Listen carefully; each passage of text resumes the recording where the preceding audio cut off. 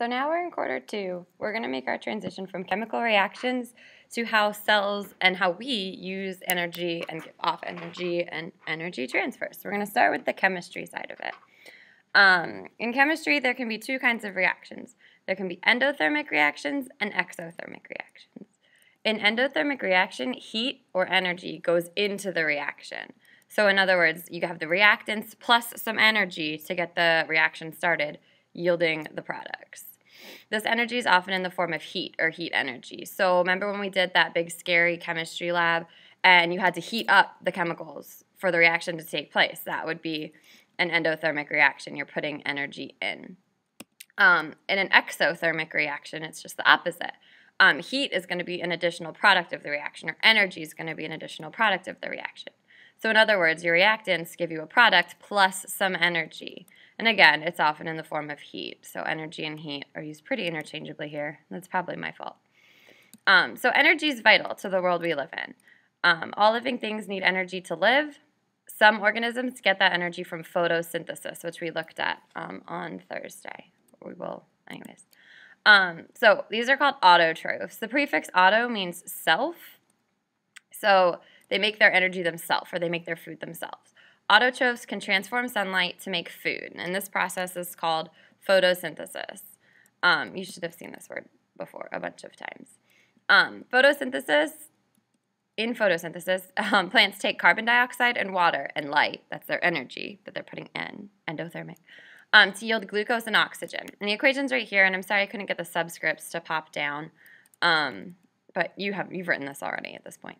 So photosynthesis is an endothermic reaction because you put energy in, the light, for the reaction to work.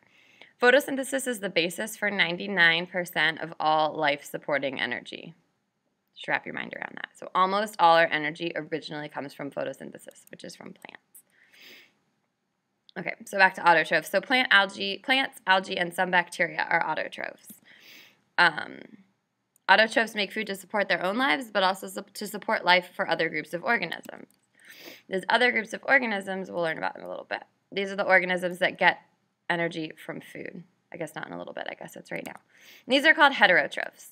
You should already know that the prefix hetero means different, like heterogeneous mixtures. Heterotrophs can't make their own food, so they eat to get energy. Like they eat other things, other, hetero, different, eat different things. Um, heterotrophs consume other heterotrophs or autotrophs or organic molecules. All animals are heterotrophs, so are some protists and bacteria. So, if you can't perform photosynthesis and you still need to get energy, um, you're going to do a process called cellular respiration. So, when organisms need to eat to live, their cells perform cellular respiration to break down foods into energy. So, um, we take glucose and oxygen, which remember are the products of photosynthesis, and we can break them apart into carbon dioxide, water. Oops, I should have should have written those the other way because carbon. And then, why are you getting stuck? It's an exothermic reaction because you get energy out. And the energy that comes out comes out in the form of ATP, um, but we'll learn more about that later, and you'll learn a lot more about it in high school. Um, so for right now, what you need to know about cellular respiration. Oops, this is going crazy. This is the worst one I've ever done. Okay, um, so what you need to know is there's two kinds of chemical reactions, endothermic and exothermic. You put heat in or energy in and you get energy out. In photosynthesis, you put light energy in. In cellular respiration, you get energy out in the form of ATP. And we'll learn more about all this over the next two weeks. Um, thank you.